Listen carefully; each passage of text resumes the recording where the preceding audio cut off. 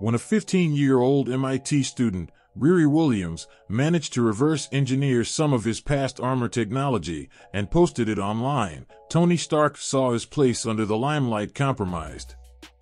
In order to remain ahead of the technological curve, Tony decided to shut himself off in his lab and make up for the time he hadn't spent working on new inventions. The end result was the Model Prime armor, a new suit of armor that could change shape and color based on the task at hand, essentially merging all of his armor modes into a single suit.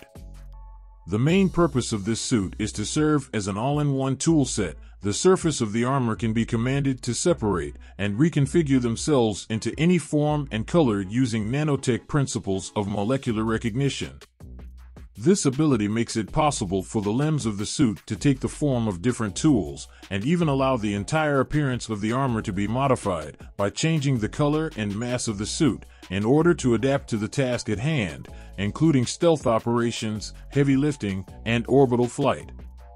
Some of the forms the Model Prime armor has taken are a Hulkbuster-like physique, stealth armor, a reinforced appearance inspired by samurai, and a kit-sized mode. Different types of weaponry can be created on the spot thanks to the armor's primary shapeshifting function. The scales on the surface of the suit can be commanded to shape themselves into blades, guns, and cannons. The armor also protects against intangibility, preventing objects and individuals like the vision from phasing through it.